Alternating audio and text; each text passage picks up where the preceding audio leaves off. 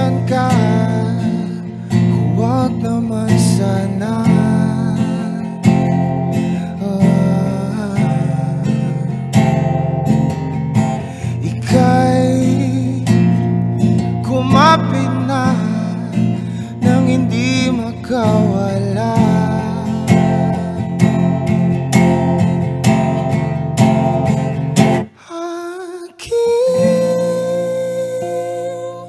心淡。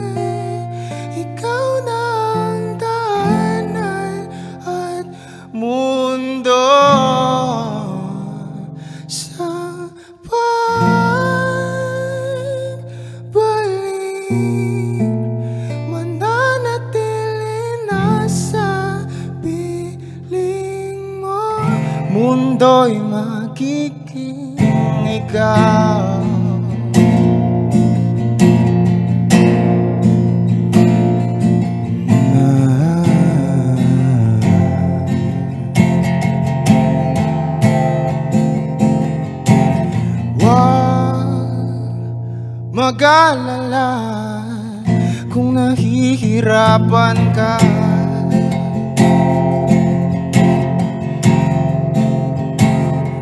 Halika na, sumama ka Pagmasdan ng mga tala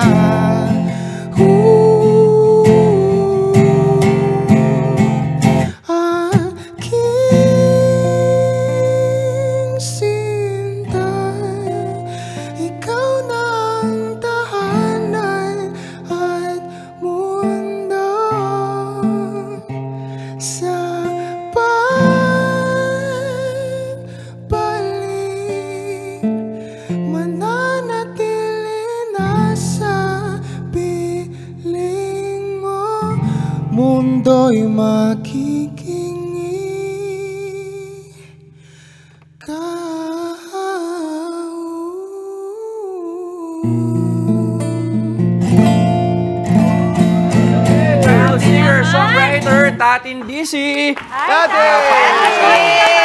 Buti pala nag-sweater ako. Ang Ang lamig. lamig mo.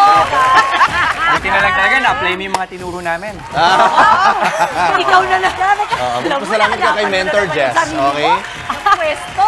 Dati. Dati wag mong pansin yung valedictorian namin, hindi siya marunong kumanta. Ito magaling ito. Napakagaling na sasabi ko. Datin, mag, kumusta ka muna sa ating mga kapatid? Hello mga kapatid. Hello mga kapatid. Um, hello sa inyo. Hiyain Good si. Datin. Datin, ilan na ang videos mo sa YouTube na naka-upload?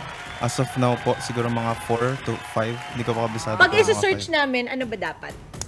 Tatin DC po. Ayun. Paano ka ba nagsimula sa music? Nagsimula po ako nung bata ako na meron po akong guitar dati na hindi naman masyado maganda. Then, tinatry ko siyang, gulat ako may tunog eh. then, ayun. Tinry ko siya i-strum, then, ayun, nod-nod ng YouTube para matuto. Ano ang nauna para sa'yo? Ang paggigitara o ang pagkanta? Yun din ang gusto kong tanungin eh. Pagkanta po. Pagkanta. Ilang taon ka pa lang nung nag-start kang kumanta? Siguro po mga 9? Wow. Mga 9 po. At ngayon, 19. Grabe, 19 years old pa lang siya eh. Datin, aka Justin. Oo, Justin din ang pangalan niya. Oo, ako itong ano, talagang a- ako na na wow talaga ako dahil napansin ko agad yung range mo. But play mo nga yung pinakamababang note mo. ng Mababang boses note. ha. Uh, Konting kanta. Ha, Tapos hanggang sa, sa pinakamataas. Ah,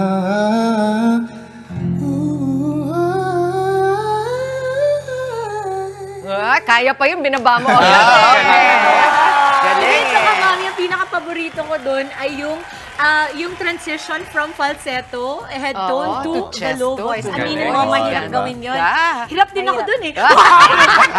Eh, isa ka pa eh. Isa ka pa eh. Isa ka pa eh. Singers dito. Pero kabalina natin, sobrang talented nito. Nag-produce daw siya ng kanyang original song na siya lahat ang gumawa. Apo. Wow. From uh, guitar, pati ba drums? Pati po, la- halos lahat. Lahat? lahat talaga. Sige, lahat na. pasample nga. Pasample nga. Ano ba yung kantang yan? Ah, yung song po na to is called Malumanay. Trending din siya sa TikTok. Oo. Pinakita ko po sa TikTok kung paano ko siya ginawa. Then, Ah. trend siya. Wow. Okay.